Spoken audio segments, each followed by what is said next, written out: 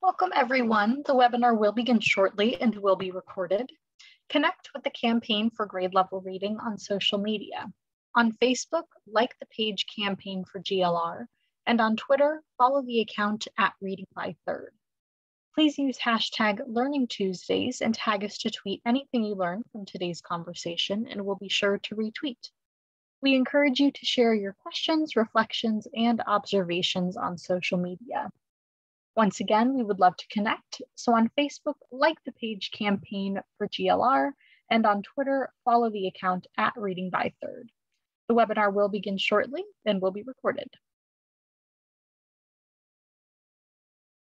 Okay, once again, welcome to today's webinar. My name is Sierra Sanchez, and I'll be behind the scenes helping to produce this conversation. I have just a few housekeeping details before we get started. First, we would love for you to introduce yourself, so please use the chat box at the bottom of the screen to share your name, city, or state, and your organization. Be sure when responding, select both panelists and attendees so that we all know who is here. All attendees are in listen only mode, but we encourage your engagement by posting questions in the Q&A box. The webinar is being recorded and a link to the recording will be emailed on Friday to all who registered. And all resources that you see shared as links in the chat will be compiled and shared in the same follow-up email to all webinar registrants. Lastly, we'll be posting a brief on-screen evaluation during closing and highly encourage you to respond. This helps us with our commitment to continuous improvement.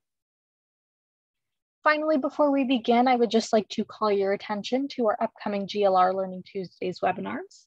Next week, we have an exciting double header, starting with a session at 12.30, The Hurt Could Last a Lifetime, Data, Growing Gaps, and Rays of Hope, followed by a session co-sponsored by the Children's Funding Project, How States and Communities Are Maximizing American Rescue Plan Funding for Kids in 2022 and Beyond. Uh, to round off the month of January, we'll have Families on Shaky Ground uncloaking and addressing the realities of persistent instability.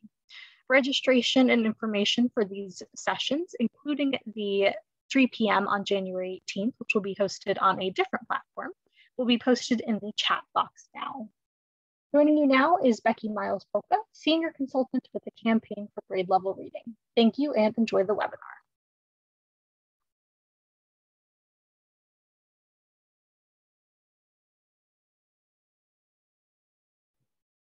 better click those uh, little things that get me on video and get me off of mute. So thank you, Sierra. I'm delighted to be here today to open up this webinar. And uh, we have a stellar panel for you today. Uh, you know, when the pandemic began, um, it really exposed the deep inequities in digital technology in our communities. Many families had no access to internet. And if they did, they were perhaps using just one device, that might be a cell phone, um, to serve multiple children. And even when districts and communities stepped up with solutions, they were band aids at best. School districts had insufficient technology in house, and many teachers had limited technology at home to use or outdated technology. And make no mistake, we have made significant gains and there has been much to be celebrated, but there is much work to be done. Today, we're going to hear from some individuals who are at the forefront of solving the technology divide, as well as from practitioners who are on the ground who have made remarkable gains in their communities. I have had the good fortune over the past few weeks as we have prepared this webinar to learn so much. And I know you are going to learn so much today. Um, I'm so excited for you to hear from this panel, so I don't want to delay any longer. Um, it is my pleasure now to introduce our moderator for today, Jean-Claude Brizard. Jean-Claude is the president and CEO of Digital Promise, Digital Promise is a global nonpartisan, nonprofit organization focused on accelerating innovation in education. He is a former senior advisor and deputy director at the Bill and Melinda Gates Foundation, where he focused on pre K to 16 education. He also led several strategies supporting Washington State's education system. He is a former chief executive of the Chicago Public Schools, and prior to his appointment in Chicago, he was superintendent of schools for the Rochester, New York School District.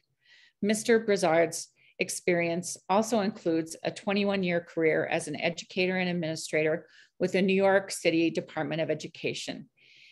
He served as regional superintendent, supervising more than 100 schools in the borough of Brooklyn, and also served as, as the system's executive director for its 400 secondary schools. He is a fellow of the Broad Center, a fellow of the Pahara Aspen Institute, and a member of the Aspen Institute Global Leadership Network. Please join me in welcoming Jean Claude. Becky, uh, thank you so so very much. It's a pleasure uh, to be here, and I'm honored to welcome today's panel of leaders in this uh, really amazing work. Uh, we have, I think, an amazing session planned for all of you, um, and uh, it's also great to see colleagues from across the country in, in, in the chat. Uh, we're going to focus on policy. We're going to focus on practice around this topic. And of course, we're going to focus on exemplars and how we look at this. Um, so let me first start by introducing our amazing panel. I'll start with uh, Michael Calabrese. Uh, Michael uh, directs the Wireless Futures Project at New America's Open Technology Institute, a nonprofit think tank based in Washington, D.C. He develops and advocates policies to promote ubiquitous, fast, and affordable wireless broadband connectivity including the reallocation of uh, more prime spectrum to facilitate unlicensed access, next generation Wi-Fi, dynamic spectrum sharing, and broadband competition. That sounds really amazing, Michael. Uh, next, uh, we have uh, Dr. Nathan L. Fisher. Uh, Dr. Fisher, or Nate, Nathan, um, goes by many names, he told us. The superintendent of Roselle Public School District has served the Roselle community as an educator and administrator for over 30 years Prior to his role as superintendent, Dr. Fisher previously served as the founding principal of the borough's Kindergarten Success Academy, vice principal and principal of Abraham Clark High School, and principal of Leonard V. Moore Middle School. He started his career at RPS as a substitute teacher back in 1990. And we have Dr. Kristine Gilmore. Um, Kristine has led the DC Everest area school district since 2003 as superintendent. Uh, DC Everest is known as an innovative, student-centered, high-achieving, and digitally powered school district throughout the state and nation. Dr. Gilmore is a proven educational leader with experience bringing people together to achieve a shared vision around success for all learners. In 2012, she was named Wisconsin Superintendent of the Year. Um, and if we go to the next slide, we have uh, Chris Rush. Again, I've known Chris a long time. Chris serves as the senior advisor to the Secretary for Innovation and Director of Educational Technology at the US Department of Education. He also is co-founder of New Classroom Innovation Partners, a nonprofit focused on new instructional models, including the School of One personalized learning program, named one of Time Magazine's top 50 inventions of the year last but certainly not least, we have uh, Dr. D'Andre J. Weaver. Uh, D'Andre serves, we call him Dre, uh, serves as Chief Digital Equity Officer at Digital Promise Global. Uh, as Chief uh, Digital Equity Officer, uh, D'Andre, uh, Dre oversees the Verizon Innovative Learning Schools program, part of Verizon's flagship education initiative with a national network of more than 500 Title I schools. Additionally, Dre will use lessons learned from the Verizon Innovation uh, Program and other digital promise initiatives to develop new state and district level opportunities for the organization that will further the goal of improving digital equity.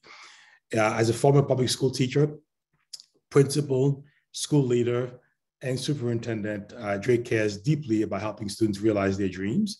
His leadership is centered around equity and access, learner-centered approaches, advancing digital equity in organizational health. So let's talk a little bit about, uh, perhaps do a little bit of um, table setting around this particular uh, um, uh, work. Go next slide, please. One, this is a continuing dialogue. Back uh, in June, we had a conversation called Big Bets in thinking about ways in which we need to solve this problem. In it, we call for once and for all to close the digital learning gap or the digital gap in America as a foundation for the work that we need to do in our schools and in our classrooms. Next, please. One uh, I think this is not a surprise to many of us uh, here, is that we are facing the largest global education crisis in the last century. Um, we have a lot of places where we know children are coming back to school. Uh, we know we have issues around the digital divide, especially with kids who are uh, historically marginalized. We have huge issues of mental health and social emotional issues in our schools because of isolation uh, and, and, socialization. Um, but really an important thing to keep thinking about is the fact that um, again, this is, was pushed by the World Bank, um, that we stand to, young people today stand to lose 10 trillion US dollars in foregone earnings if we don't find a way to really address the issues of what we call the digital um, learning gap. Next slide, please. But as you all know, the pandemic has only highlighted issues that's been long-standing.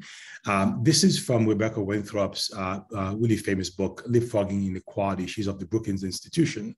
Um, she really lays out uh, the case that uh, by 2030, we may have nearly a billion children uh, who will reach adulthood without basic secondary level. This is again a global figure and that these figures don't even account for the kinds of work we need to do uh, when we think about, frankly, the kind of 21st century, well, um, the kinds of skills we need today for young people to really um, get access to uh, the new world economy, to have agency in their life, um, and frankly, to have the kind of uh, economic stability goal that we are looking for.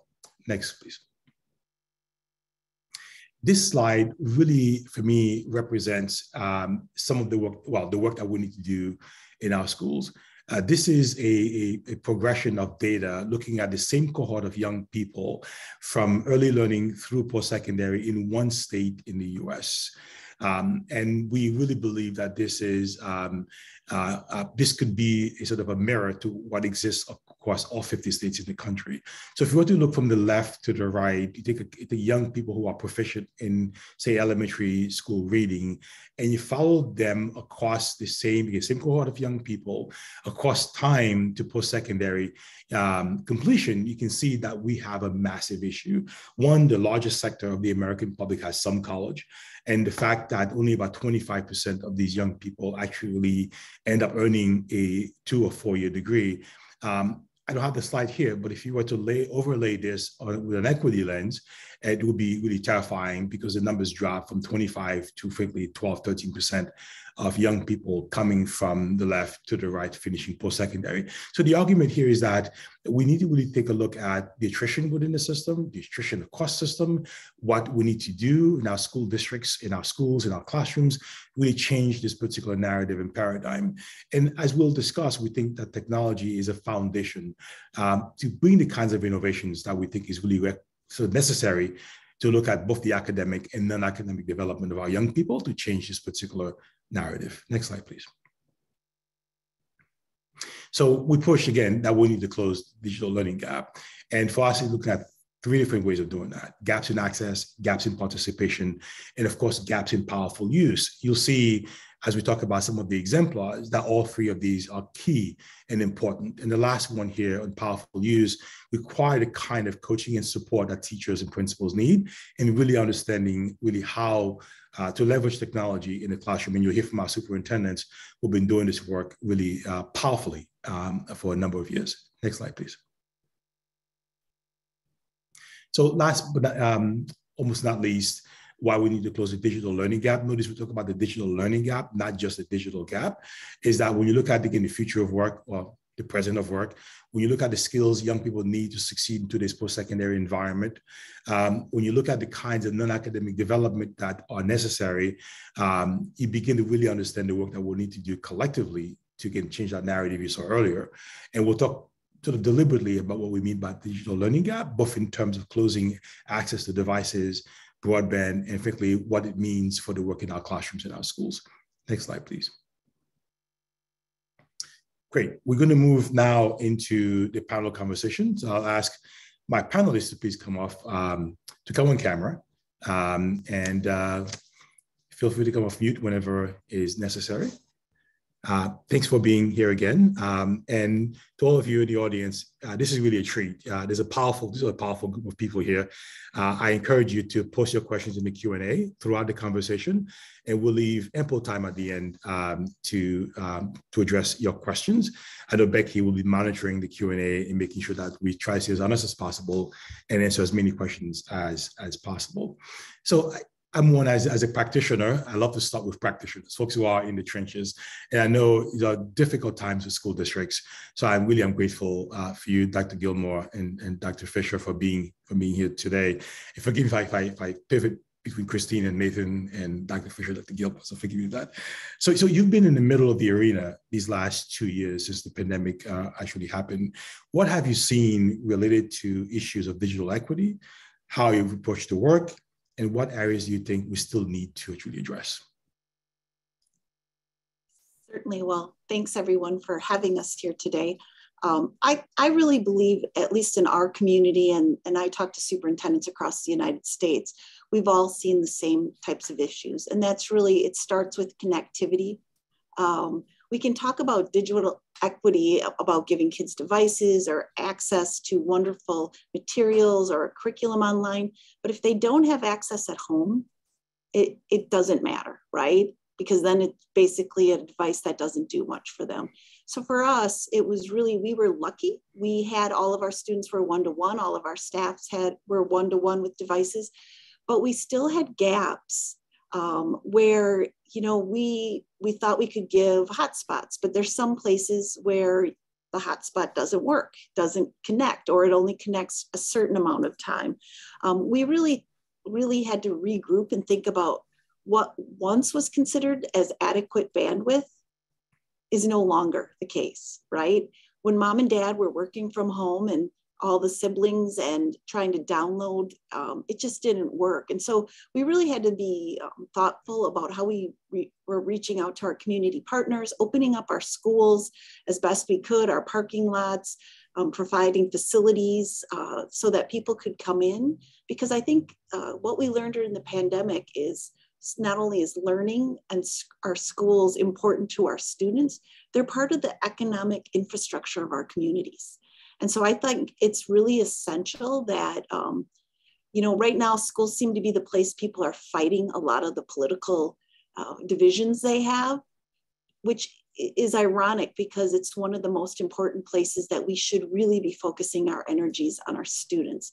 I mean, if we're going to come out on the other side of this pandemic, it's it's the future of our high school students right now that are going to carry us through it. So I've tried to put as much energy as I have into our kids versus fighting the conversations on the outside. I'm not always able to do that because that's not what happens at board meetings right now. Um, but I think if we can continue to focus and get people to focus back around what's best for our students, then we can change the conversation. Well said, uh, Kristine. Nathan, Dr. Fisher? Yes, and and I have to concur with uh, Dr. Gilmore on uh, several points. And and through this pandemic period, one of the, the greatest things that we were impacted as as school leaders were we had to strongly pivot during the pandemic. And you know, and we realized throughout this pandemic period, uh, early on, even talking to my colleagues across the country, uh, there was a variant uh, understanding as to what digital learning was all about. So we had to have a, a very unified definition, you know, whether we were speaking from a, a place of digital inclusion, uh, digital equity, or just a digital divide. Those were spaces that that really driv, driven uh, our, our, our, focus for the, the entire school district. So we really had to look at a number of areas before we could even uh, get started. But I, was, I would say immediately the challenge was uh, the impact of understanding the needs of our families.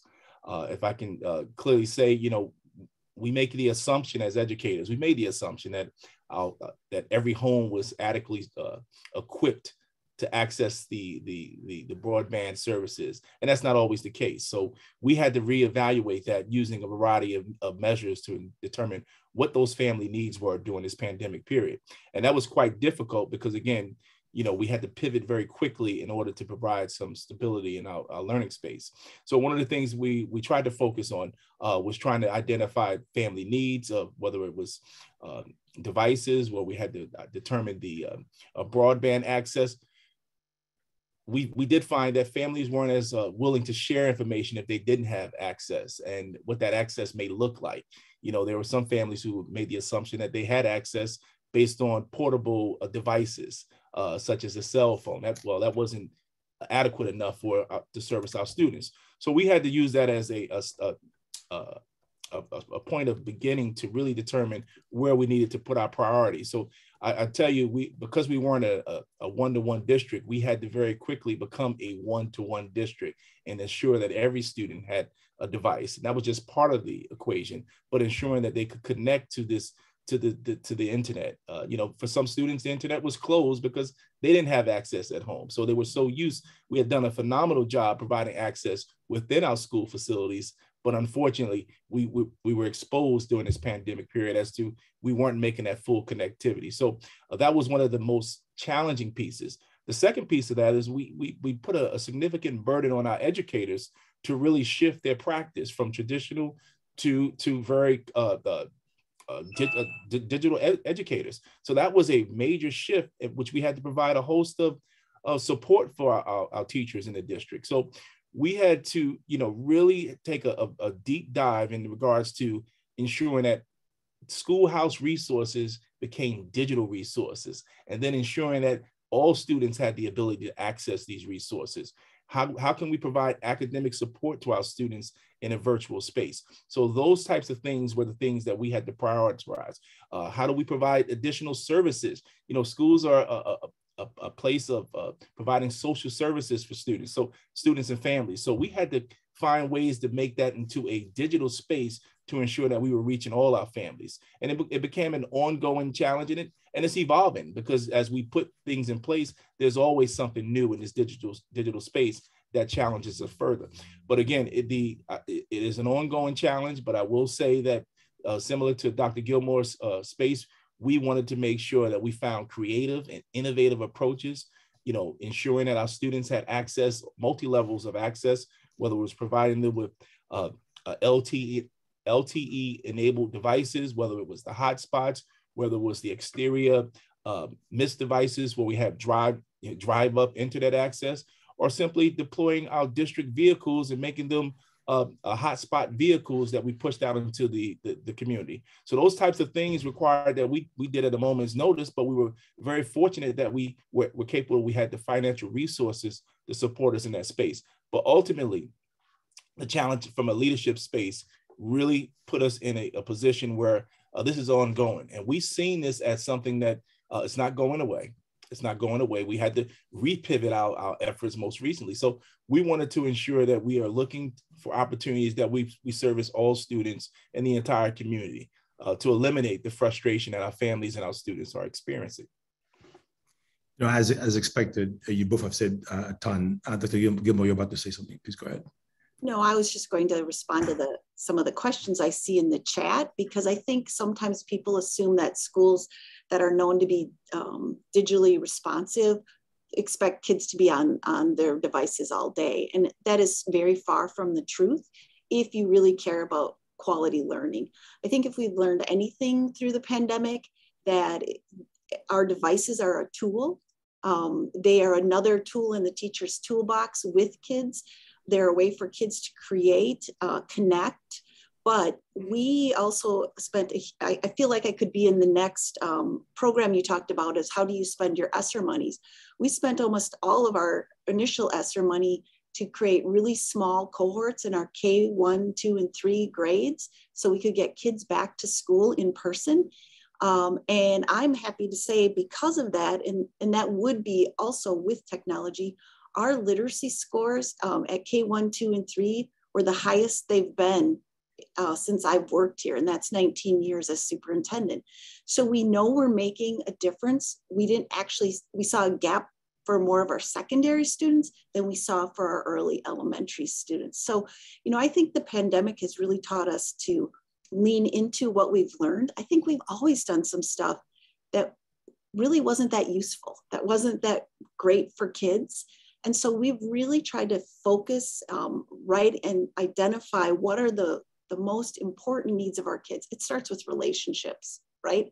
Nobody says is the most important need for a kid is a device. It's a relationship with an adult who cares about them. And then how do we build that learning around that? Um, and I think it goes back to that. I, I brought up this question when we were talking yesterday. What does it mean to be a teacher now? I can tell you it's not the same when, when I was a teacher. The expectations for teachers now, I think one of the things we have to look at is what are our, um, what are we doing right now for our teachers? And then what are we doing for future teachers? Because I'm not sure they are all trained or have the background to do all of the things we expect and ask for. Yes. And, and that's why it's so important that we offer a continual professional development opportunities for our teachers because it is something uh, that we've put a heavy burden on, on teachers, particularly who've been teaching from a, a, a traditional uh, platform to more in a digital space. So it, it's important that we continue to prioritize that. And uh, just to kind of segue into another piece of that is that I often realize that as we are supporting our teachers, it is crucial that we continue to use these platforms, these opportunities to support our students academically. So we've taken in our district to, uh, an opportunity to provide uh, ongoing uh, academic support for our students, ongoing uh, uh, uh, counseling services. Those are the types of things that are essential to be successful in this digital space. And even utilizing this digital platform, we've increased our ability to communicate with our families and provide uh, additional uh, family engagement opportunities throughout this pandemic period. That was probably more essential and greater participation because it was much more of a flexible type of scheduling that many of our families were impacted by on a traditional a traditional school year. So I think all those things wrap into this whole concept of how do we meet people where they are. So we have to use these platforms, but use it for the advantages because as our society continues to evolve, we're in a space where we're going to have to continue, continually adapt our resources to meet the needs of our community. So I, I, just have to say that it was, uh, it, it, it, continues to be a, a, a priority for my district. It's a priority for my leadership who understands that uh, by any means necessary. We'll reach every kid. You know, it's about every every student every day. So that that effort has to be at the forefront of every decision that we're making. So it's very intentional. Our resources are very uh, uh, specific and uh, they're targeted to the needs of our kids in this particular environment. So again, Dr. Gilmore is hitting it on the head with all those those key points. You know, these school communities are so reliant on the, on on what we do as a school community. The community that necessarily have a, a clear insight to the in, the value of what we've done daily. So I think that as we continue to use what we've learned from this pandemic period with technology and digital uh, tools, we can do even greater work in the educational space. I mean, as, as expected, you guys two are, are hitting a lot, and I'm going to come back to you a bit later on uh, for some of the things you've outlined uh, including um, uh, Dr. Gilmore, the fact that you are in, in the rural part of Wisconsin and the kinds of challenges that may present around broadband access. You also been at this a long time, so really would love to go down the road. I'll come back to you in a bit about how prepared you were for March of 2020 when it all hell broke loose around around schools. I was around the first school district that closed in the nation. I was in Washington State. Uh, Winton Public Schools, the first to close in the nation, and watching that whole to your point, Dr. Fisher, community impact, not just a school, but a whole community impact is an important way to look at this. Chris, if I may bring, bring your voice into the conversation, um, you've been hosting a series of webinars at the USDOE, and I've had the pleasure of being a part of some of those. Um, so it's the title, Planning for Changing Learning Scenarios, Navigating the Road Ahead, a small topic, right? Um, what have you been hearing from these practitioners what are some of your few few big takeaways from the conversation? Yeah, um, I mean the webinar series has been fascinating. Thank you so much for um, for your contributions as well. I've uh, enjoyed just even hearing more now from Dr. Gilmore and Dr. Uh, Fisher on some of these thoughts. But yeah, we got to hear from a number of other superintendents and practitioners out there, and there were some big takeaways that I had, and I'm curious whether or not uh, some of the other panelists here would agree. But the, I'm going to sort of share three right now. Um, And the first one was yes, it's true. It was true 10 years ago, and it's true now that there are a number of student need, needs that are going unmet. But what's different right now is that the circumstances around school and learning are rapidly shifting, and therefore it's forcing action. Before, you know, a decade ago, or even just two two years ago, before the pandemic, you could actually choose to do. You could do nothing. You could wait. You could try to figure out what the way to do it through policy was or how to get the funding. And now schools, teachers, parents, students have no choice but to act. And sometimes that goes well and sometimes it's not. It, it, can be a mixed bag in that sense and whenever they look to act there's a choice to be made. You can look from sort of existing tools and practices that are out there but for a number of the circumstances that are that everyone's facing right now there's there's not that much best practice to be to be found. Um, and therefore there's a lot of invention happening. There's a lot of trial and error. There's a lot of innovative activities happening and everyone's not always set up to do that well. So when you take the great experiment of remote learning it often gets demonized out there. But there are plenty of places and plenty of teachers that did it well. There are plenty of communities that feel like there were strengths to be had from it and they don't want to lose all of those benefits. And there's frustration that in many ways that's being demonized out there because they want to pull the things that are working, the things that seem additive, and be able to incorporate them into what's going on. So that brings me to my second point, our big takeaway, which has been around how how schools and districts and and parents and families are really sort of acting ahead. They're they're out in front of policy and regulation. They feel like that's holding them back. But at the same time, it's been going on so long now that for the first time in a long time, it feels like there's cover to actually just try new things and ask for forgiveness if that doesn't work. And I'm hearing more and more that in this this pushback to to normal, whatever that's going to end up being, that there's a desire to preserve the ability to actually try new things so that you can do whatever you think is most helpful to service your communities, your students, your teachers. And how do we preserve a bit of that? And I, I think that's an interesting whole other topic to dive into if people are interested. And I'll throw out my third one, which is just overall that digital learning really is a mixed bag. And the mixed bag is it doesn't mean it's a crapshoot when you try to put it in. It means there are pros and cons. The digital interface allows us to involve parents more. They can see what's happening. At the same time, I think, you know, to Dr. Gilmore's point, it's not just about the content and whether or not you are learning skill by skill, but you need to be able to make real connections. And then for some students, uh, the, the digital, the virtual, some circumstances allows for more connections. For others, fewer. Maybe the answer doesn't have to be binary and that it needs to be more nuanced to different communities, to different students, to different circumstances.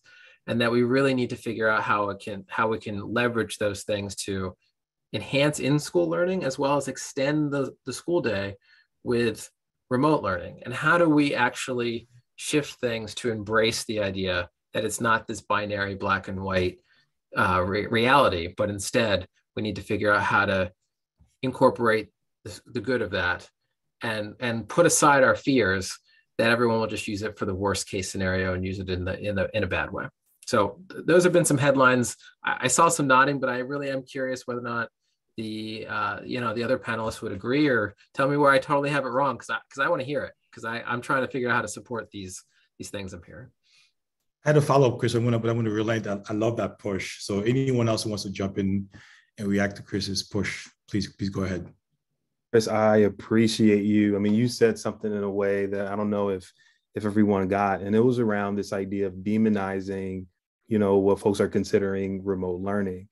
And from my perspective as a former superintendent and someone that is really passionate about, you know, closing this digital learning gap, um, you know, we've demonized an approach because we were not prepared to utilize the approach in the way that we needed to. And now there's this massive um, push to go back to a normal that wasn't being um, it wasn't in, in, including um, all the kids in our you know country that needs to be in, included and I'm wondering, will this moment in time be an opportunity for us to finally embrace um, the traditional model has not been successful for all of our kids. And we can utilize different approaches to create very powerful learning experiences for kids um, in our schools, very similar to the ones that the two superintendents on our call are creating for their kids today. So that really, really resonated with me. There are a number of school districts that I'm hearing uh, are just wanting to go back to what was comfortable, but really wasn't beneficial for children. And, and we have to guard against that. I just add that I, I totally agree. Um, one of the things that I think, so I live in the middle of Wisconsin, small district, 6,000 students. I, I've always believed we can offer kids anything here that anybody in the entire United States can with digital equity. And I, I think too many people have been afraid to push and maybe because I've been here a long time as I was able to get our um, businesses behind us to recognize where their pipeline and if we don't do well they don't do well. So they have supported us on this journey but i think because of the pandemic so many more people are trying different things. Teachers you know are able to reach out and uh, try some some other things. We are really involved in the redefining ready work around um, what we think a portrait of a graduate looks like. And i think pandemic has taught us that those are the right things, not just a test score, right? We need people who can think differently and try new things and fail, but then fail forward. And so I, I think it's one of the best times to be an educator, exhausting, but one of the best times. And our kids, they need us to be excited about it. It's their one chance, right? Dr. Fisher, would you concur? And how are you yep. perhaps incentivizing your folks to take risks and get ahead of the policy and regulations, as Chris actually mentioned?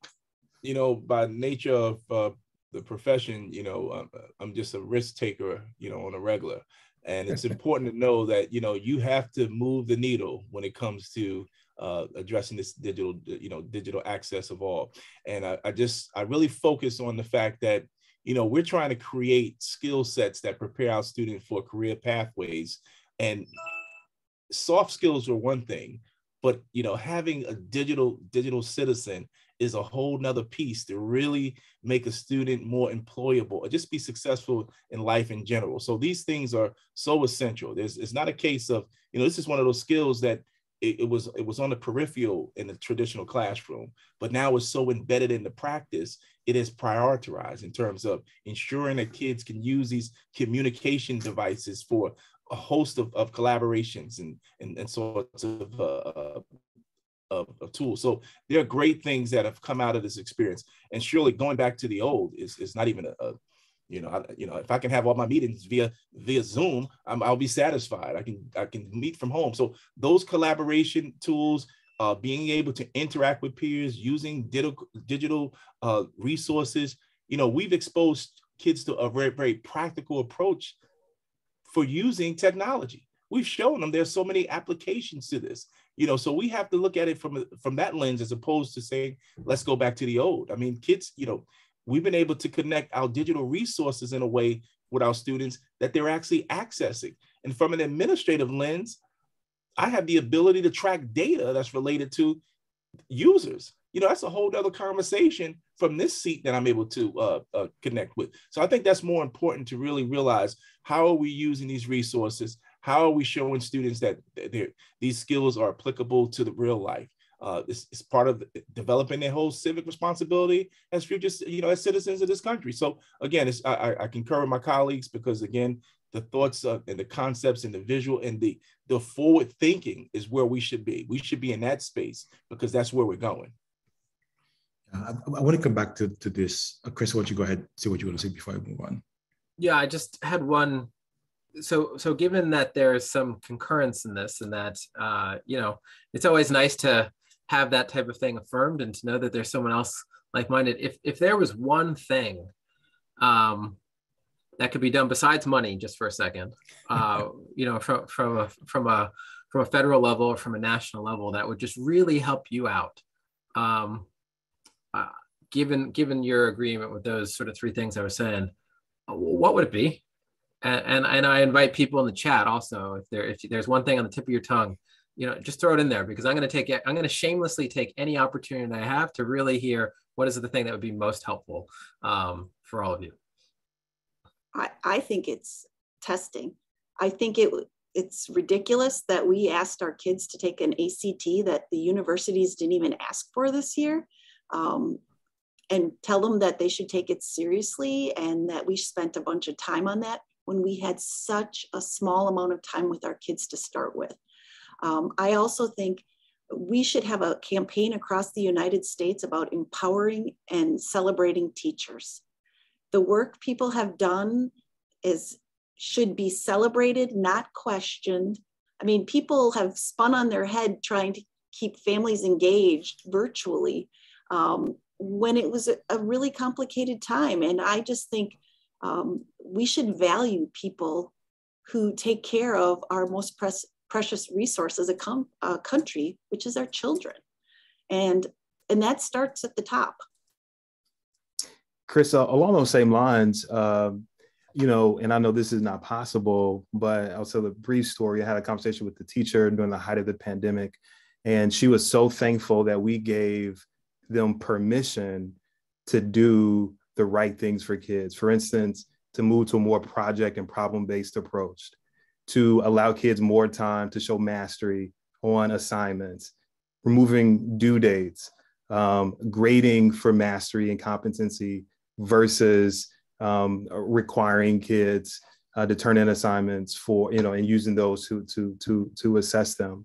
Um, giving kids an opportunity to earn credit um, for passion driven learning um, one of the things that i think the federal government could do and school district superintendents can do this state superintendents can do this is almost create a safety zone that empowers that encourages people to try approaches that are learner centered, that have been proven to produce learning in, in, in students, and almost remove this um, this rat race that we've been on there for such a long time to really produce outcomes without considering the inputs um, exceptionally well. So I think I think that is that is one thing. Along those same lines as Dr.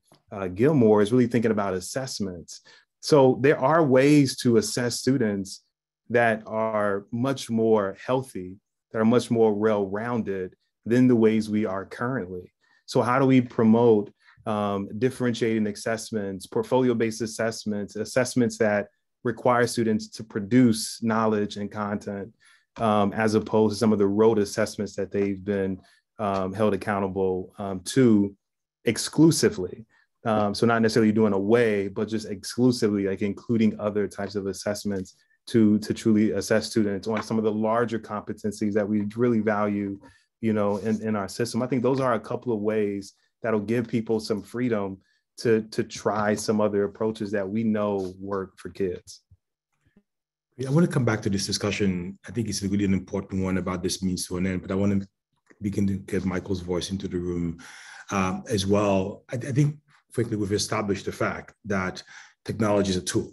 Uh, it is not the end, but a means to an end. I think really well said too that the purpose is thinking about one an enhanced definition of success, not just are you proficient, uh, are you graduated high school, but frankly, it's a lifelong success kind of orientation that many of us are thinking about career pathways, especially one that aligned to today's workforce. You know, at Digital Promise, uh, with, uh, thanks to the National Science Foundation, we talk quite a bit about computational thinking, which we know really benefits every subject area and leads on these ideas around leveraging technology. Um, so assuming that we understand, and we'll come back to talking about the, the, sort of the means to this end or what the goal is. Let's come back to the means for a second. Uh, access to technology we know is critical. We've got gaps in many parts of our country, and the amazing amount of funding that came from the feds, I think, will go a long way in solving for the for the issue. But by no means is it going to be uh, uh, the end of the problem. Uh, this is a longer term problem. This is where I want to bring Michael's voice into this piece here. So, Michael, a year ago, New America published a paper um, on the remote learning crisis report, reporting that at the outset of the pandemic, at least 60 million K 12 students and 3.4 or 3 to 4 million post secondary students lacked access to a working device, reliable high speed internet, or both. We narrowed that to um, to about 12 million as of December 2020, uh, and it got even even smaller because of the funding from the from the feds. Um, so we've made great progress, but we have a long way to go. Will you please uh, help us outline what gaps remain, how we may address some of these issues, and frankly, how do we once and for all close the digital gap? Yeah, thanks, thanks, Jean Claude, for including me. I'm uh, not the educator, but the broadband policy guy in the group. um, and yeah, I mean, our, our, our report really um, focused quite a bit on how the remote learning crisis, you know, that arose, that, you know, in the pandemic arose from a pre existing homework gap. So the good news is most students are finally getting connected. Uh, the bad is this is temporary, and we are going to be back uh, where we started. Uh, and as Dr. Fisher said, you know that's not that's not a good place um, when we think about the jobs uh, opportunity of the future. So just to uh, kind of set the maybe kind of bring everyone up on the on the you know on where we're at. So as Jean Claude said at, at the outset of the pandemic, there were roughly 16 million K 12 students um, who were not online at home, uh, didn't have adequate internet access for remote learning. And that reflects the reality that more than one in five US households lacked uh, broadband internet. One year later, the end of the last school year, um, that had been improved to about 9 to 12 million. Um, this digital learning gap also reflects a tremendous income and, tremendous income and racial disparities. So Common Sense Media did a survey uh, early last summer that showed that low income Black and Hispanic students were nearly half as likely to be able to engage in remote learning during the shutdowns as their you know, white or more affluent counterparts. Um, we filed back in April of 2020, we immediately filed the, an emergency petition at the Federal Communications Commission asking for a expansion of E-rate, the Universal Service Fund program for schools, uh, to be spent for connections, you know, to allow uh, put more money forward and allow it to be used uh, for connections off school property for s- students and teachers at home. Uh, and the FCC denied that. They did not want to set a precedent to allow E-rate funds to be used uh, for uh, off school property. Um, thankfully, though, uh, last March, um, the American Rescue Plan included $7 billion for an emergency connectivity fund for schools and libraries. And those funds began flowing uh, last fall. As of yesterday, and this was an update from the FCC, um, nearly 10,000 schools and 800 libraries have received $4.2 billion. 4.7 million uh, additional students have received broadband service, uh, mostly mobile hotspots, and nearly 9 million devices have been approved. Uh, another 2.4 billion remains to be announced or awarded. Uh, in addition, the pan, another pandemic program, the emergency broadband benefit, is subsidizing home broadband for uh, 10 million households, many with children who, as a result, need only a device to connect. So, in sum, to sort of again finish this this update, in, in sum, the good news is that nearly all students uh, may be able to access remote learning now or, or soon. The bad news is these programs are temporary.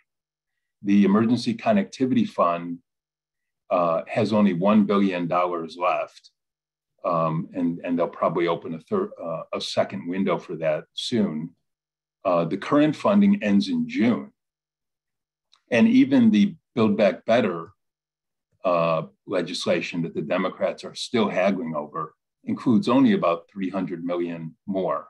So it'll barely take us into next fall. Um, what we need are sustainable ways to permanently close the homework and remote learning gap. And there's really some innovative districts um, who have lessons for us, which you know I can speak to further, but I don't want to you know go on too much longer because that's a lot of uh, background data to digest. Michael, maybe Chris, I'll bring you back into this as well too. I mean, you made reference, Michael, to the homework gap, and I've heard the FCC chairwoman talk quite a bit about the homework gap. Uh, can you describe what, what that is and why um, that is the reference? Uh, and maybe as you're speaking, our superintendents, including D'Andre, can think a little bit about what that meant for you as a practitioner, as someone leading a system. So what do we mean by the homework, homework gap and why is that important? Yeah, so the, the new chairwoman of the FCC, Jessica Rosenworcel, has been talking about this, you know, or agitating about it really for years uh, before the pandemic. And it's, you know, it's the, just the notion that um, uh, roughly 16 million K 12 students were going home after school each day, uh, some to, often with a Chromebook and nothing to connect it to. You know, they, they did not have internet access. Uh, and so they couldn't complete homework. Something like 70% of, of teachers, at least in high, at the high school level, were assigning homework that required internet access. So you, you had, you know, the classic um, example is, and it's literally true, students uh, sitting on the grass or in cars or uh, in the parking lot outside McDonald's or Starbucks, uh, trying to you know get the leakage of of Wi-Fi, um, you know, after schools to do their to do their homework at the libraries, which closed too early, um, and so you know they were really falling behind. It also completely defeats any effort to have more of a blended curriculum uh, that incorporates technology you know, um, comprehensively throughout the learning experience. And, and, you know, and that's devastating, especially at the, the middle and high school levels. Thanks, Michael. Chris, any addition to all this? Ah, the joy of being the, the federal representative on a on a panel with things like this. So, um, well, first I'm going to turn back to Michael for one one thing, uh, which I think might just help the audience. You've been talking about how Jessica uh, Rosenworcel has been agitating on this point for a while, um, but also uh, has sort of been in lockstep with the Secretary of Ed on the, the use of E-rate.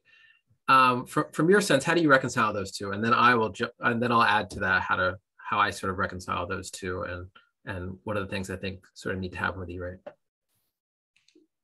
Sure. Um, well, you know, as I said, the um, uh, the you know petition that we filed, as did the state of Colorado, and believe it was Nebraska or Iowa, um, at the outset of the pandemic. You know that was a Republican majority on the FCC, and they did not want to set a precedent of expanding E-rate. In fact, the chair had opposed back in during the Obama administration there was a major expansion of E-rate to include Wi-Fi. So E-rate initially was what we today call category one. The goal was to get a fiber, a fiber connection, a very fast gigabit plus fiber connection to every school and library. Um, and then in 2014, uh, the commission proposed, well, hey, that's not enough. We need internal wiring and Wi-Fi so that every student has that speed at their desk, uh, and every teacher in every classroom. And so the and so category two was created, and and with a big upfront uh, funding, I think two billion dollars, um, you know, so that there could be a kind of a crash effort to um, extend Wi-Fi throughout schools and really anywhere on school property. But the law, as it's written, it has been interpreted, at least by the prior FCC, to prohibit spending any E-rate funds uh, off school property, even to the degree that these innovative school districts who are um, who are trying to extend the school network to the community using wireless technologies, such as putting you know uh, a, a, cell tower on their roof, on the roofs of school buildings or teachers' homes, um, they cannot use the fiber that goes to the school after school hours, even when it's not in use, which actually doesn't cost anything. They can, but it's cost allocated. uh, which is a, an inhibition. Um, so again, uh, a year ago, after the inauguration of Biden, you know, my organization, New America, along with um, the Schools Health Library Broadband Coalition and the American Library Association, filed another petition um, asking for E-rate to be um, expanded, you know, to allow that flexibility as well as additional funding. Um, and it's still pending, but it was eclipsed by this emergency connectivity fund, which was immediate money, seven, almost 7.2 billion. And it's been a godsend, but as I said, it's temporary, it runs out. So we're hoping that uh, Chair, Chairwoman Rosenworcel continues to support the effort to revisit the scope of E-rate, and particularly in tandem with um, contribution rate reform of the Universal Service Fund, which is necessary, um, you know, that we can have, uh, maybe that can be the permanent solution rather than relying on year-to-year appropriations from Congress, which, as I said, will be will run out by the next school year. Mm-hmm. Yeah. So for me, trying to reconcile this issue, I'm going to separate into two components. One is do students need access to devices and um, and internet access at home to be able to do virtual learning, whether or not it's to extend their school day, whether or not it's because of the homework gap, whether or not it's because of school shutdowns? Yes. I think there's an interesting question about whether or not E-rate uh, is the right mechanism for that or not. And the reason I say that is because E-rate is designed uh, as a matter of policy to support the techno- use of technology in school buildings, which I also feel strongly about. And I would argue that there is not enough money in E-rate right now to accomplish that first goal in and of itself, and that there's a lot further upgrades that need to need to happen in school buildings. Now, if there is a lot more money put into E-rate enough to be able to tackle both issues, sure, you can use E-rate as the mechanism.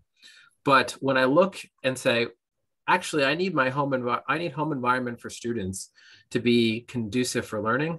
There are more components than just technology that are necessary to create a good lear- learning space at home. So I would love to actually see something beyond E-rate, something that was a bit more comprehensive about turning home environments or outside of school environments into um, very accommodating and inviting learning spaces and recognizing that you need technology. You also need heat. You need light. You need resources right? It, I, I don't think technology is enough. So when i think about it that way e-rate isn't necessarily my ideal vehicle though it could help solve part of that problem. And i think the longer the pandemic goes on the more out of class or out of school learning environments will be recognized as learning spaces. And the more that that continues to happen, the more something is going to have to be put in place that tries to tackle the various uh, shortcomings that actually exist in outside of school learning environments.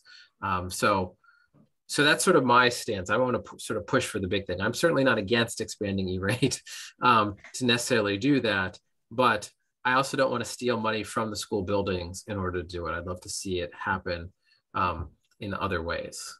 I'm, I'm, I'm curious how, how folks would respond to that. Chris, uh, before, you, before anyone else responds, Dr. Fisher, I'll let you go first. But there's a note here from S.Y. Mason Watson. By keep adding your questions to, to the Q&A. I'm monitoring and I'll try to integrate them as much as I can, but we'll leave a dedicated room as we get to your questions. Um, this person says that urban and rural school districts need more broadband and Wi-Fi access. Sending fully equipped mobile buses into these areas have been successful in a variety of districts across the country. How can parents advocate successfully for these type of strategic solutions and of course, Hacking Digital Promise, maybe that's that's you. This is your second full day in the office. Um, be of assistance here. So I know uh, all of you, like officials, Dr. Gilmore, all of you guys be thinking about this, um, especially this idea of the homework gap, access to technology and learning outside of the walls, the four walls of a school. So Dr. Fisher, I think you're coming off mute if you want to go first. Yeah, I was just going to uh, quickly uh, jump in there, Chris, because a lot of the the challenges of of of E-rate often, you know, again, is limited to, you know, school facilities. Uh, you know, but that's a great and opportune opportune time for districts to re-evaluate their current school budgets, to reallocate resources, and really try to flip the script, uh, lack of better words. The kids aren't in the building, you now have a host of resources available to you that would normally be housed in, in the building.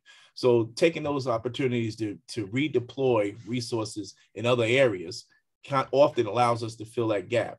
So we were able to do that in the district uh, throughout the, the, the pandemic, uh, throughout the pandemic, just, you know, most of our, our budgeting was always focused on things that were within the building. So when we mm-hmm. started to look at it line item by line item, we were able to see there are opportunities to say, let's just shift it. We, we, we're, we're not we're going we're not going to be able to do this particular uh, uh, function. We're not going to be able to do this. So why don't we start to utilize those types of resources with an understanding that our E-rate projects will continue to go on and so forth. But it does free up some dollars uh, during this particular time. So that worked to our advantage. Uh, but over the long term, uh, it would be important to be able to have some a, a little more flexibility in regards to uh, what that interpretation of what E-rate project projects look like and flexibilities on how to deploy those resources out into our school communities. So it doesn't necessarily lock us in because you know those require those federal requirements pretty much lock you into a space of you need to adhere to X, Y, and Z.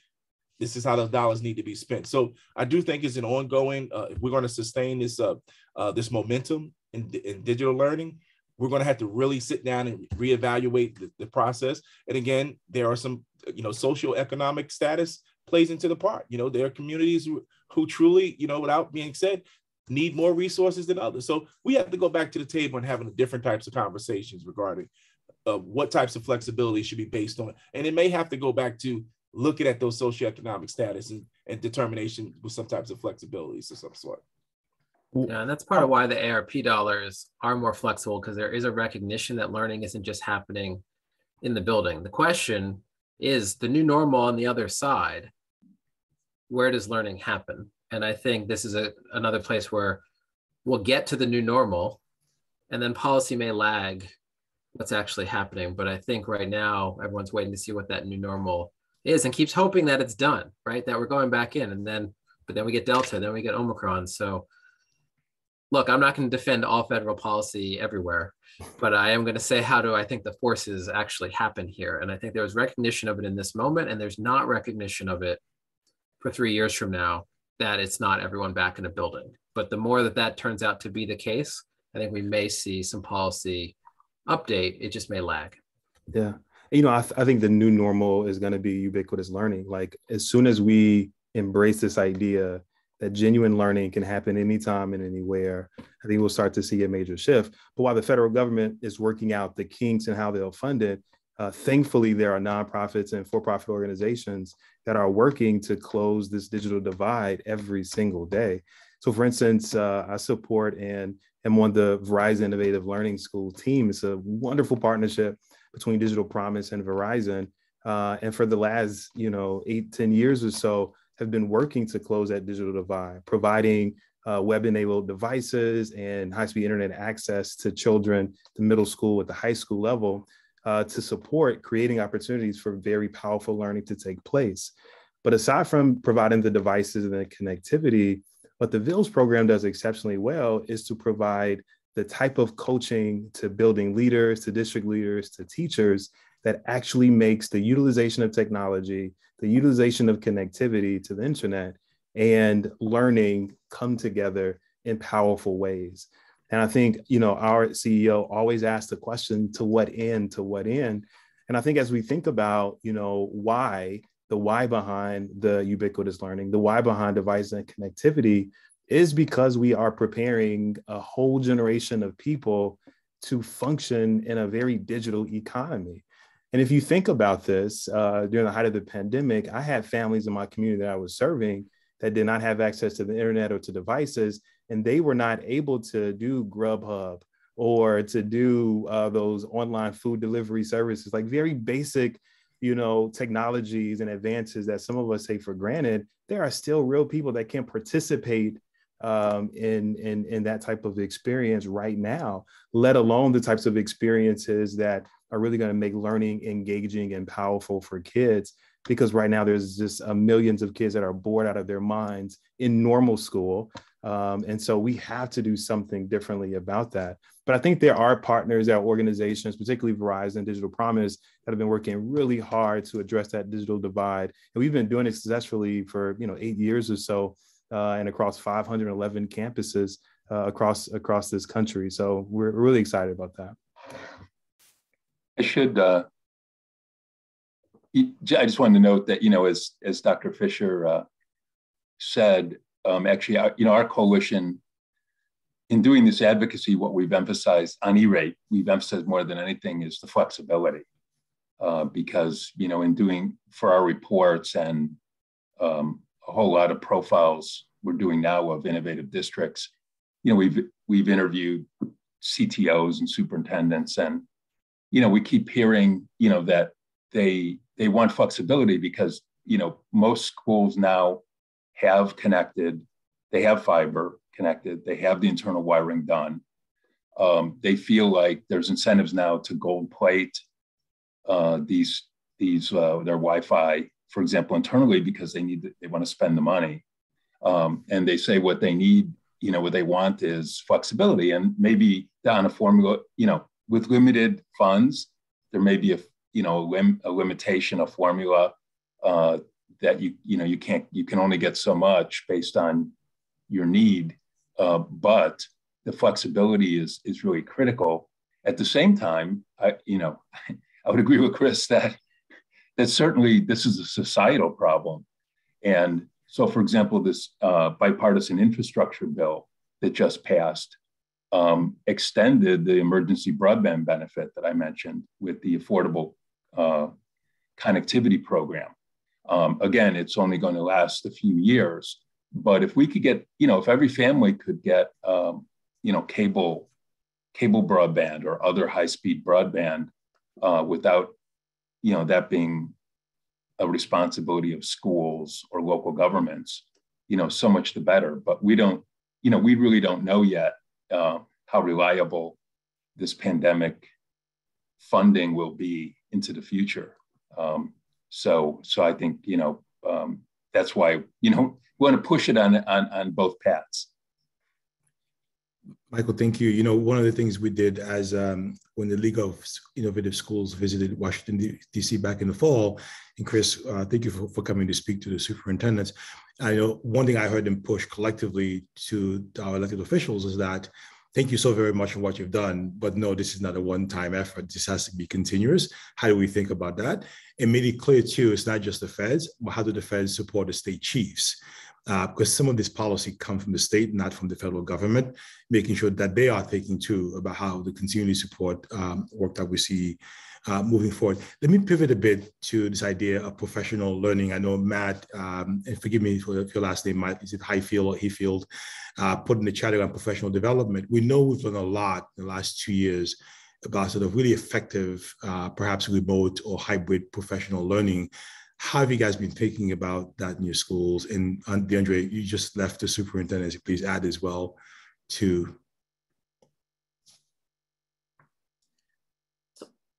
I guess I, I could start there. So professional development, um, I think is always a complicated in schools.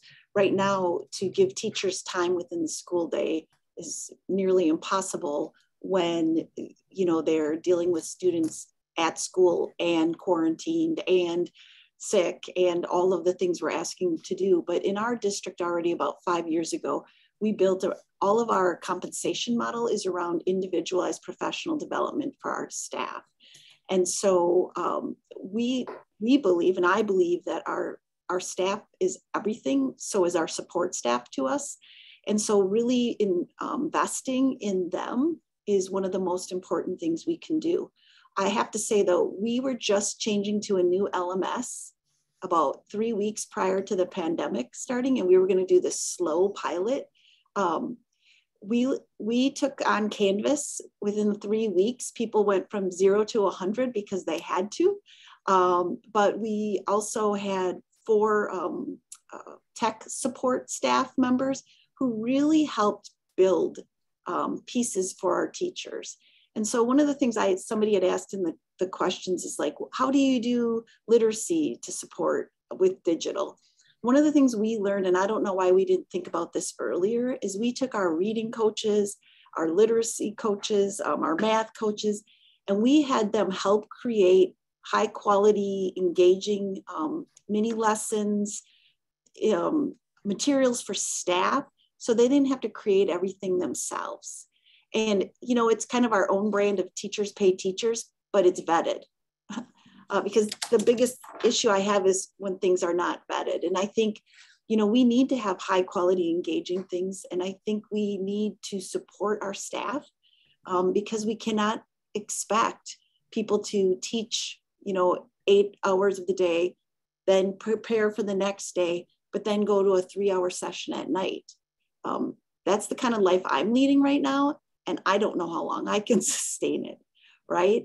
Um, so I think that's something we really need to um, prioritize what is most important and what our teachers and staff tell us is most important. Because sometimes I think as administrators, we try to tell them what is most important, and that's not always the case.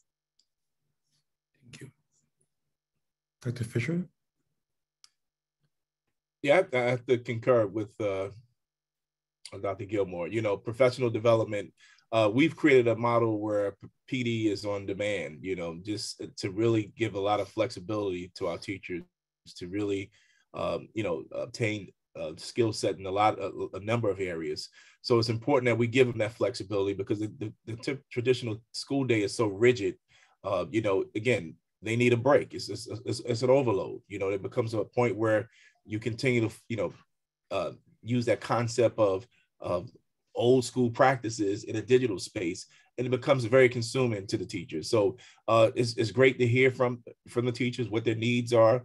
The feedback is essential because we make these decisions as upperheads and never taking the opportunity to put the boot you know have the boots on the ground in the conversation. So that is is critical. Without reintroducing too many new things you know one of the things i've, I've pledged to the leadership is that let's not try to you know introduce too much at this particular time. Let's slow down let's let's, let's be very intentional with the things that are a priority because we too introduced the new learning management system. We've uh, utilized schoology which was all new for our teachers who were, you know navigating their ways through that. But as I, as as as teachers normally do they treat it like a social media platform. They figure it out. They find ways to make it more inviting more engaging uh, for the students and their families. So uh, that has been a plus. And that was that year one. That year two, you're now seeing that they're they're able to, to use the the digital resources. So along those lines, one of the things we wanted to do is ensure that it wasn't just a free willy type of uh, digital resource uh, opportunity for teachers. Let's keep it in a space where it's more manageable. We want to know who owns the data at the end of the day. You know, let's not just keep signing up for anything. Let's let's ensure that there's standards-based resources that we're using. So those are the things that we really had to focus on, and just to kind of narrow it in. But that professional development piece on demand has been uh, a great opportunity to reach out teachers. Uh, because we, you know we all need it, and and and Kristine, I will tell you the same you know, my day starts early and it ends late, you know, and I'm not sure how I'm doing it. But from a leadership space, it's important that we we stay abreast of all these changing. I think that the Fisher uh, froze, um, but you know, he, he was mentioning something um, that has been front of mind for me for the last uh, uh, year and a half. Process exactly. Good. Sorry, Dr. Fisher, you froze for a second. Um, just this idea of learning management system. So we all think about technology enabling sort of classroom instruction, but to your point, Dr. Fisher, you know, technology has also enabled this idea of connected curricula, right? So everything from standards to, to assessment to pedagogy to curriculum and, and student data, effectively, right? Uh, staff data. So this, these LMSs now seem to be ubiquitous across across the, across the country. So, uh, Dre, a little bit about what you're seeing from that yeah. as well too. Go ahead. Absolutely, just the same sentiments for teachers as I have for students has to be personalized. It absolutely needs to be competency based, and they need to have their own learning paths. Sometimes we don't think of teachers as needing their own learning paths to uh, to kind of grow professionally. Um, and some of the work that we started to do uh, in DeSoto was, you know, thinking about, you know, what are all the qualities, characteristics uh, that really define our teachers at various years. And what are those core competencies, those really core skill sets, and then the really core dispositions and mindsets that we want teachers to have. What we found is that teachers had to do a lot of unlearning because there was so many um, practices, beliefs uh, that they experienced as children, that they experienced in their teacher prep programs that just aren't uh, applicable uh, to the needs of kids in classrooms in 2022. Uh, and so identifying those mindsets and having to do that deep internal work uh, to really define what is equity and access, you know, what is engaging curricular and what are true learning experiences that really empower kids. You know, let's talk about grading and let's unlearn what we've learned about grading and let's, you know, learn uh, what true um, uh, assessment for learning really is. Basics around formative and summative assessments. To this day there's still a need to truly understand the power of how to use formative assessments to drive student learning. Uh, and there's a number of technologies that help teachers uh, formatively assess students very quickly, use those data to do something with it, as opposed to spending time trying to analyze data. There's so many platforms that do it for uh, teachers so they can use that data to, to move the needle for kids. I think those are the types of experiences that teachers are really looking for. And then finally, moving along the micro credentialing route, um, I'm seeing a lot of organizations start to think about professional learning in terms of micro credentialing, both for students, but really for staff, though. And I know Digital Promise does some, this is a shameless plug, but we actually do a, a wonderful job with creating content curricula and micro credentialing educators, some of the best that I've seen. Um, and I think I think districts that are really looking forward to uh, improving professional learning for for their teachers will start to look at you know, micro credentialing and those learning pathways that lead to um, uh, badges that have been vetted by other experts. Another shameless plug, uh, Dre. Uh, Jennifer Kane in the chat has been talking about, well, she talked about this. So, and she's not one of our people. So I really appreciate the fact that, yes, MCs can be a really great way of supporting teacher teacher PD. I want to make sure I get to this topic because again, this is this is the campaign for grade level reading. Uh, I want to make sure I, I, get to, to this particular question around early learning. Um, so pre-K three uh, examples of innovation, uh, things you've seen that really has been leveraged maybe this past two years. Um, technology, pandemic. So, what have you seen around the early learning, the early learning space? What are you doing in your district? well, one of the things for me was I was wondering what did K one two look like when we were fully virtual. Um, and so the way I did it is I read in every one of our K and one um, virtual classes, so I was able to meet their classroom space. And it was really interesting because it was, it was way more varied than I expected. Um, and it gave me a different uh, understanding of what teachers, you know, you had one mom who kept putting her head into the the classroom, and then you have somebody who's half dressed, and um, I, I've I found that, you know, it was teachers who really cared about their kids, who I think all teachers do, but some at a, a different level, found ways, even when they weren't um, overly tech savvy. Um, they created ways for their students to check in, to share information. Um, we had um, an elementary a teacher who actually read a, a, nighttime story every single night. We were virtual to her students. They could join in their pajamas and her dog. Um, people across the district joined into that. So it, it was one of these things where um, I, I think K1 2, unless somebody at home can help with a child, I think it is really difficult. And to think that it takes the place, it's one of the reasons we put our resources to bring our earliest learners back to school as soon as possible and kept our older kids in more of a hybrid situation. Um, to me, it's unless there's a parent or a, a sibling that can help, I just don't think it takes the place of the classroom. I just th- I think it's really complicated. Maybe others found differently, but for us, our families felt it was really complicated and it was too long for kids to check in. We did a lot of, you know, for an hour or two, then play, then come back. We sent kits Um, somebody asked, how do you do project-based learning? We built lots of little kits and dropped them off as our, our food buses went around. So uh, I just think we had to be innovative.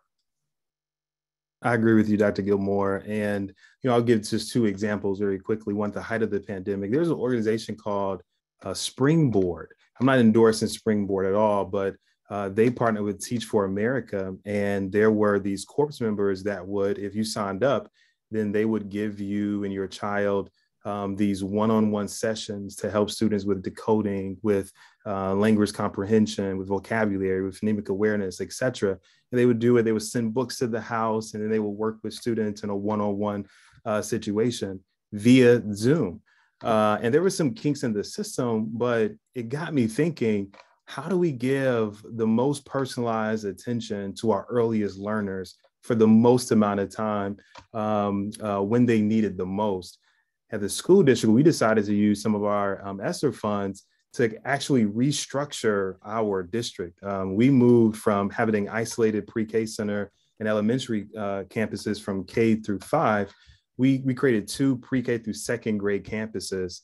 We um, uh, created roles that were literacy and kind of mathematic based coach uh, roles. Um, and then we dramatically reduced the class size. And I'm not a big class size uh, proponent here. Sorry, teachers. Um, but we dramatically reduced the class size to an eight to one situation so that that um, we'll have more master teachers, more teachers uh, to be have more time on task with our earliest learners. We created additional um, assistant positions in pre-K and kindergarten and make sure they were trained in literacy and math to deliver more effective small group learning for kids, utilizing technology, uh, utilizing um, our in instructional approach based on the science of reading. Um, now, the staffing shortages put a big um, issue uh, with that, um, but the plan was solid. Here, my point is, at the earliest levels, I think the more personalized the experience it can, it can be for kids, the more you can utilize technology that can give kids more practice uh, with some of those basic phonemic awareness skills, the decoding skills, um, the more they're going to build their capacity and, and be on grade level for, for, for literacy. Yeah, D'Andre, I, you know, I, I am right there with you. We um, uh, here in Roselle, you know, I used to be a former principal of a kindergarten academy. So one of the takeaways for me was it was a priority age group. So I knew, you know, that the the the amount of work that teachers put in to to teach daily, you know, with those those five and six year olds was an enormous lift.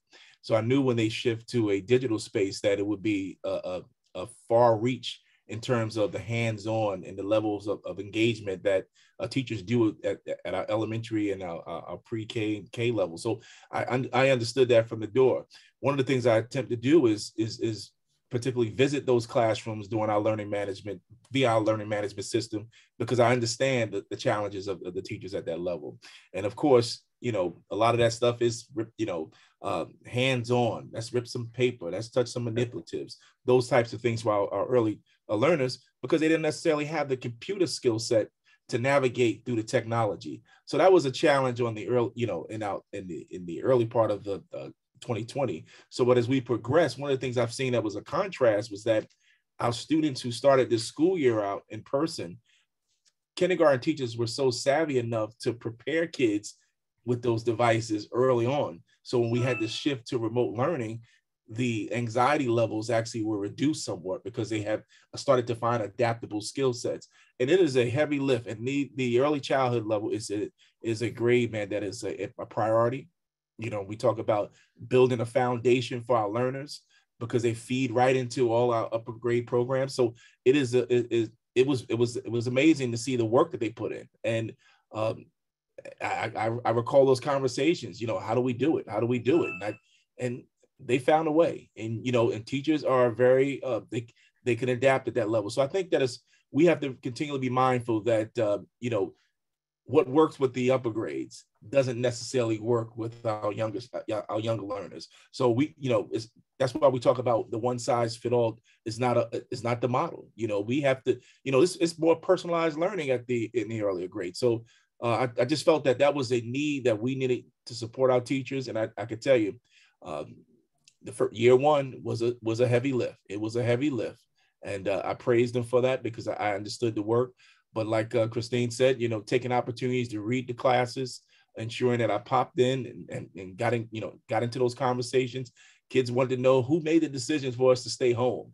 And I would be the guy who says, that's him right there. You know, so those types of things were important because kids need to, they need personalized experiences. So I was glad to be, you know, uh, uh, as I continually do this to this day is to, to make my presence known because we can't, you know, the teachers can't do it alone. They need to know that they have the support from the leadership. And that's what's important uh, through these conversations. Thank you. Michael, you want to go? Go ahead. Last, last word. Yeah, I, I hope I'm not shifting off early learning, but I, I did want to mention an innovative district that um, Digital Promise profiled at the very outset of the pandemic and that Chris's office profiled in an excellent report last June, and that is um, uh, Lindsay, California, um, a farm worker community in the Central Valley in California. It's about 4,300 students, 75% below the poverty line, many, many um, multi family households, uh, majority ESL when they come to school.